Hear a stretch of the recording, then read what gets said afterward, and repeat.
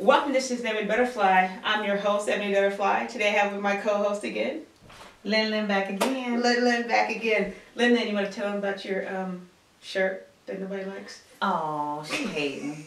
This was a um a Pro Bowl. Pro Bowl. Pro Pro Bowl. Bowl shirt.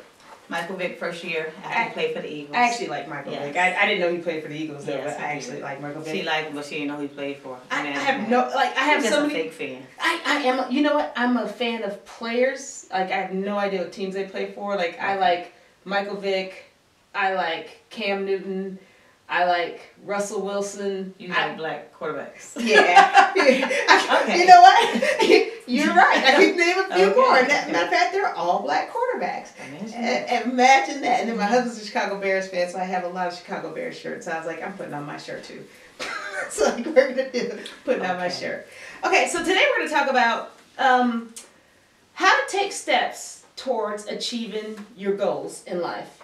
Um, like, how do you start?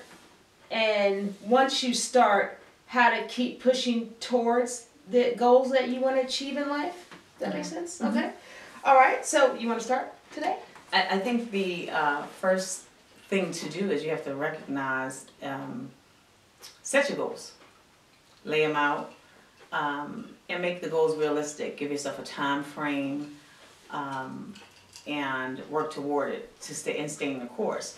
But in, in setting those goals, you have to actually do due diligence. Uh, if you want to become a writer, you want to write a book. I've been talking about writing a book now for years, and I haven't done it as of yet. But I have plenty of the memoirs in my computer, and I've I've just started to put it together. But I set the goal to write that book ten years ago. I just haven't gotten around to starting it. Why?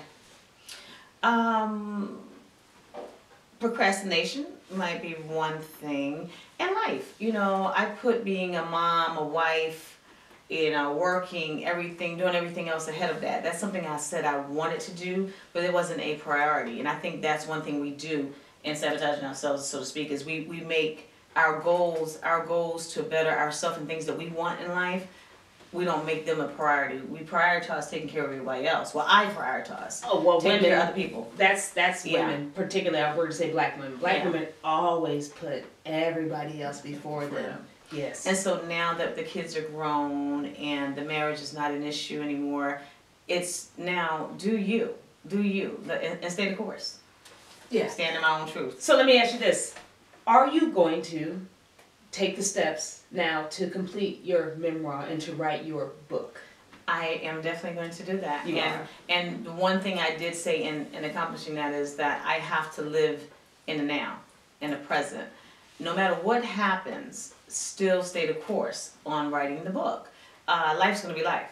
It doesn't mean I can't do a chapter a, a week or two chapters a week, regardless of the, everything else that's taking place. Stop making everything else a priority opposed to the book that I've been trying to do for over 10 years. Yeah, it's so funny. So Ty and I have like we have these great story ideas, right? And we and we talk and we like bounce things off each other, but we haven't actually. Okay, let's not say we have not.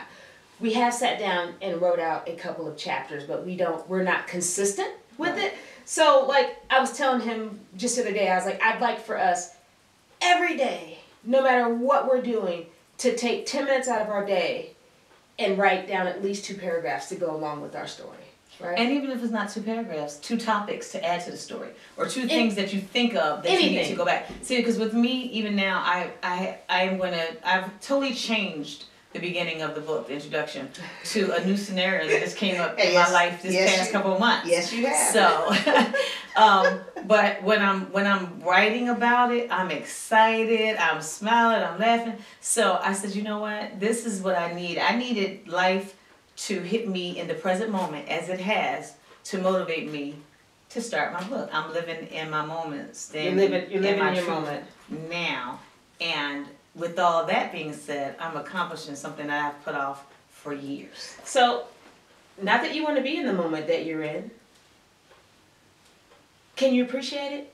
I can Is that, is that okay? I didn't want to. I can I can that appreciate the I can appreciate the the growth I see within me, Yeah. Through through my through my trials. Right. So it, Right. lessons, and like people always say, lessons are meant to teach you something, and sometimes you're taught through pain. Right. Sometimes it's not necessarily painful. This particular lesson for me was painful, but I've grown in that moment, and so I embrace it because that moment made me uh, man up, so to speak. And to reevaluate. Uh huh. Right. Uh-huh, And uh-huh. yeah. To. And to when oh, un, un, well, really quick, not to cut you off, but when you're unwilling Mhm. to deal with something Mhm. any longer, Mhm. right? right, That motivates you to take some steps. yes, To, yes, to make some changes. Without a doubt, Yes. I can say that I'm, I'm standing in my strength, and I know I, my situation might have altered or changed my life, Right. but it, it was not meant to break me.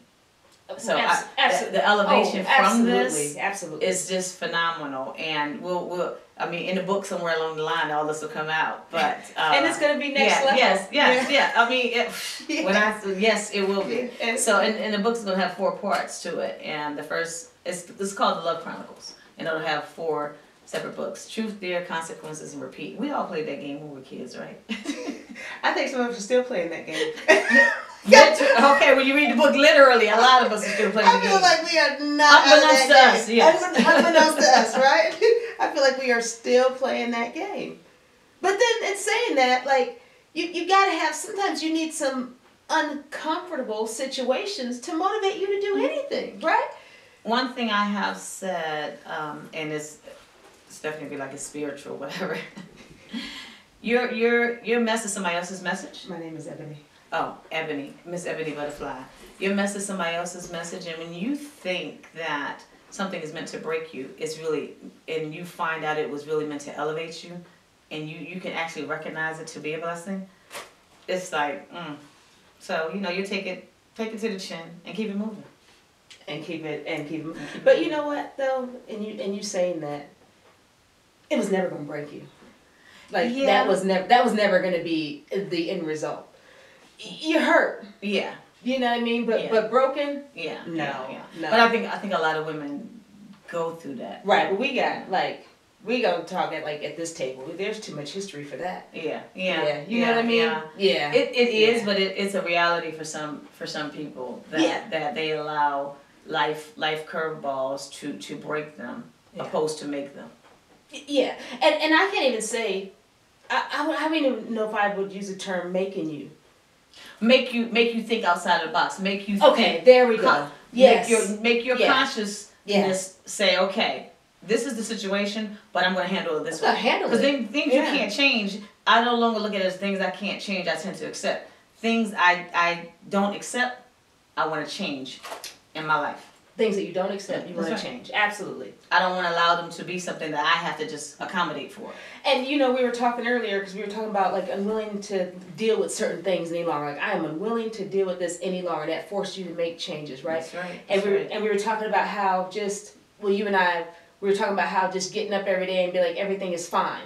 yeah. When everything is fine in life, you are not gonna push yourself Nope, to make nope, any changes, nope, right? That's right. Like you know, I mean, we're not. I'm it's not your, saying it's your valley. It's your valley, and those that turmoil and your trials that allow you, motivate you Absolutely. to grow and go. Yep, yep. Because if you had no trials, if you have no testimonies to, to give, then then life would just just breeze by. breeze You know, by, breeze but- by, and you're missing, Yes, and you're missing, yes. and even even in pain, Yeah. That could be a beautiful thing, Mhm, right? mhm. Because you want you want to experience everything that life has to offer. You know what. I'm saying? And so you don't want it. I don't want easy. Yeah. You yeah. know, I don't, I don't want easy, and maybe that's because I. Maybe I don't know how to accept easy. I don't know if Mhm, that, that mhm, makes sense, but I, I don't want easy, Yeah. right? But I don't want chaos Right. either. Right. I just I want something. Just give me a little bit nudge. Give me a little bit push. You know But here's the thing, and even with that, even if it's chaos in the moment, In the moment. it's in that moment. yeah. It's not going to define your future. It's not going to be the rest of your life. It's not going to be where you where you where you're stuck. Yes. So the whole- Hopefully, the- yeah. hopefully it's not Well, going to be it where you're shouldn't stuck.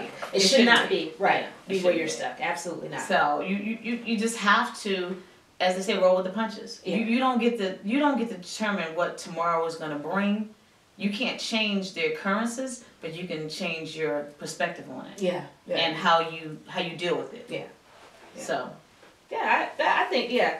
I think that like the like what what you're what you're about to accomplish now is going to be a great thing.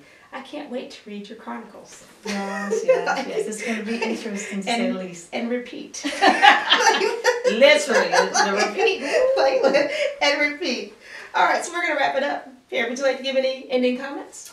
Well, give feedback. Uh, Give let us know um, different things, scenarios, how you how you think planning your goals should be, uh, what things have hindered you in life, and if this if this talk has helped you, what what you got out of this conversation that might have, you know, given you motivation to do something that you've put off. And think about uh, what you're unwilling in your life to tolerate any longer. And maybe that'll help you to motivate you to push you to the next level.